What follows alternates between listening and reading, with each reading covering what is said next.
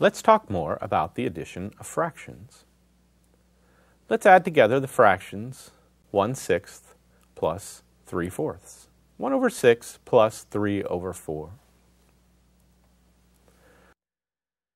To add fractions together, the denominators must be made the same. So we will ignore the numerators for now and focus on the denominators. Let's find the smallest number that can be the common denominator. Let's find the least common denominator.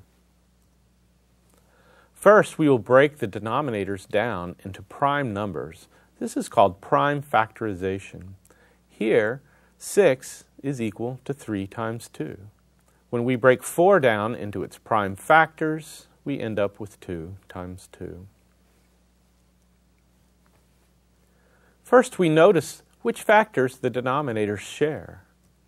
And we can ignore those shared factors and focus on unshared factors. To create the least common denominator, we must multiply any unshared factors with the other denominator. Here we've taken the unshared factor 3 and multiplied that with the other denominator. Since anything over itself is equal to 1, we will multiply both the numerator and the denominator by any unshared factors to keep the fraction equivalent. Here we've taken the fraction 3 quarters and multiplied that with 3 over 3. 3 quarters, or 3 over 4, times 3 over 3 is equal to 9 over 12.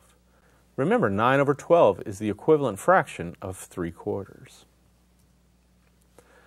Here we've taken the unshared factor 2 and multiplied that with the denominator on the left. Remember, to create the least common denominator, we must multiply any unshared factors with the other denominator.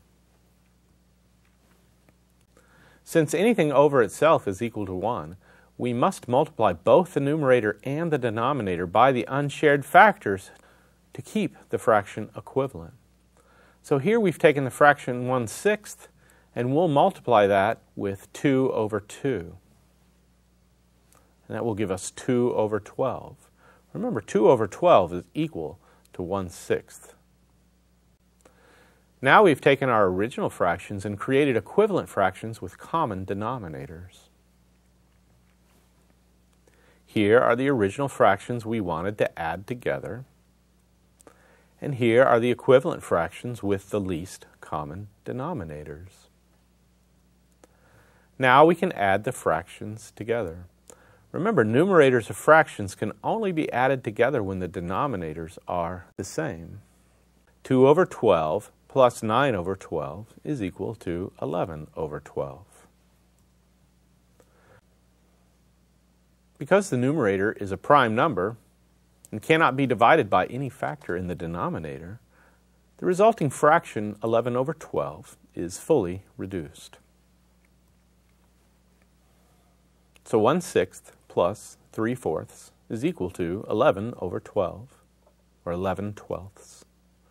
Adding fractions together is one of the most difficult operations in mathematics. But learning the logical process of mathematics will reveal to you the logical process of the world around us.